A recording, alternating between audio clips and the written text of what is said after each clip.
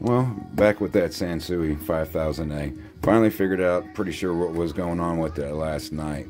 Uh, did a lot of work to this unit. Uh, as you can see, new caps, rebuilt the boards, top and bottom. But whenever I hooked it up, it suddenly had a low sound, you know, basically coming from both channels. So I think I figured it out late last night up in here. So I'm fixing to tear it back apart one more time go ahead and solve what I believe is the issue, but that's just the beginning of this week. After that, we have the Yamaha MX 1000U. If you uh, follow me, you know this one right here. We replaced the uh, connectors in the back. Well, we finally have all in all the parts, so we're going to be jumping on that. The same friend, customer, sent this in. This is that uh, Sony E800ES. So that's definitely going to be looked at.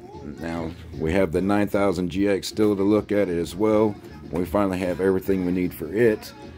But here I thought I was starting to get caught up when the 1280 came in. Tell me that ain't beautiful.